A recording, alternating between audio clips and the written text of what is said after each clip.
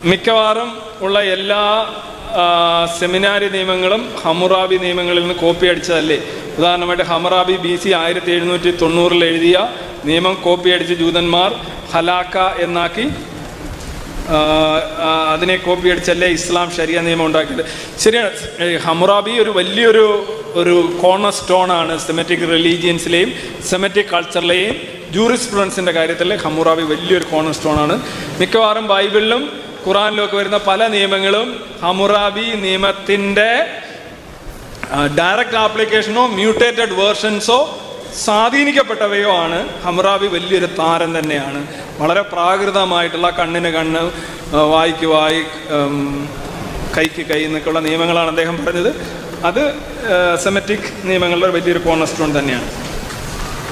ഇപ്പോൾ ഉദാഹരണമായിട്ട് ഇസ്ലാമിൽ തന്നെ കണ്ണ് ചൂഴ്ന്നെടുക്കുക കൈ വെട്ടിയെടുക്കുക എന്നൊക്കെ പറയുന്ന സാധനമില്ലേ? അത് ശരിക്കും ഹംറായിയുടെ ഒരു സാധനമാണ്. പിന്നെ കൊല്ലുന്നതിന് അടിമയെ കൊല്ലുക. അങ്ങനെയൊക്കെ പറയുന്ന സാധനം ഹംറാബിയുടെ ആ കോണ്ടാക്ട് തന്നെ ഇസ്ലാമിൽ വരുന്നു.